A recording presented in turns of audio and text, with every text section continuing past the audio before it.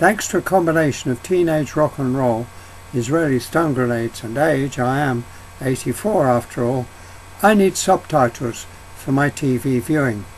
Any show that doesn't provide subtitles is shut down sharpish.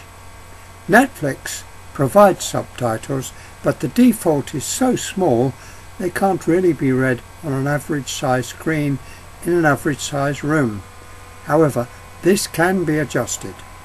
Go to the image icon in the top right hand corner of the screen and click on Help Center. Then Watching Netflix. Go to Customize the appearance of Netflix subtitles and captions. This gives you a choice of fonts,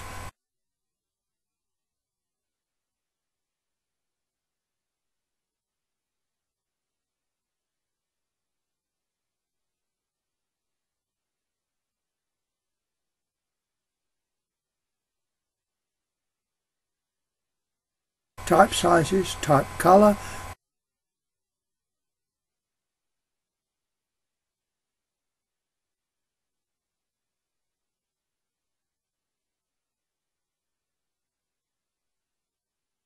whether subtitles are displayed within a panel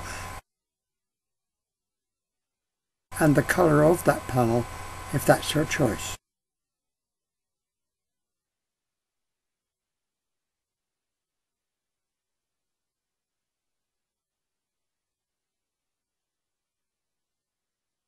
Beware, because this will affect all devices.